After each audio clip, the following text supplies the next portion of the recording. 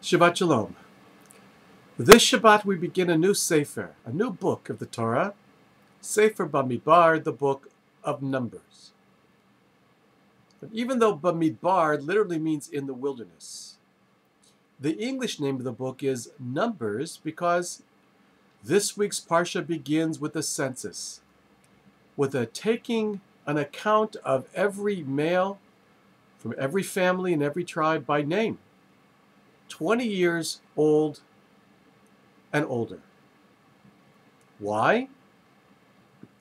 Because the Israelites in the wilderness needed to know how large of a standing army they would be able to have.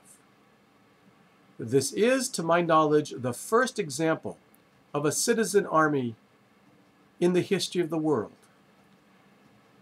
This is not an army made up of mercenaries. It's not a volunteer army. It's a draft.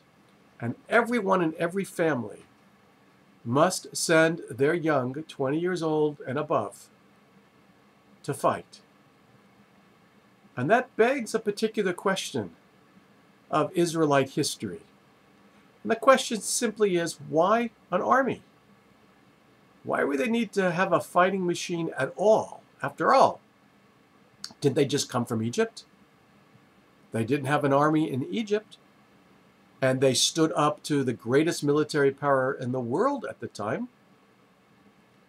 It was God who brought the plagues.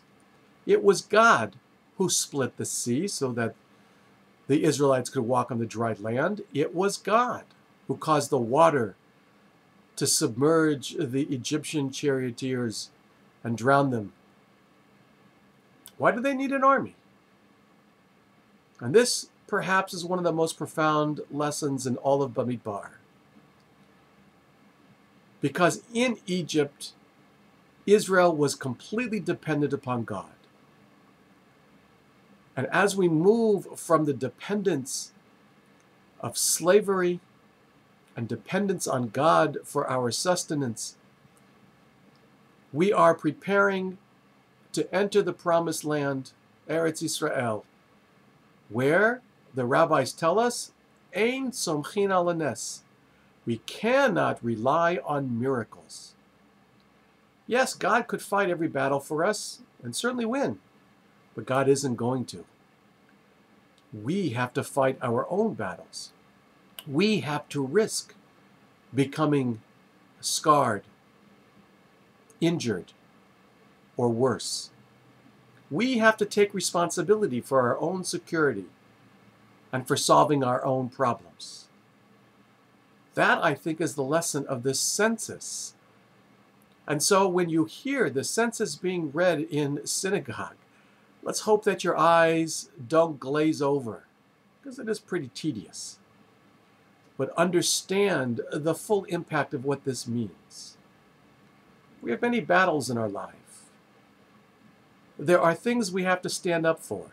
We cannot rely on God to fix our problems, to fight our battles, to heal the world. We have responsibilities of our own to fight with God, not alone, but certainly not to be dependent upon God to make things right. So let's do our own accounting think of when we have to pick up our own metaphoric arms, stand up for ourselves, bring into the world that which we believe is right, and to create a society founded on justice and mercy and kindness.